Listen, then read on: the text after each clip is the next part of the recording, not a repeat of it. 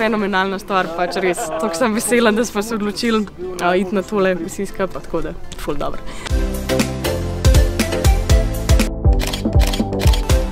Alpina, the best. To je to, gremo gor.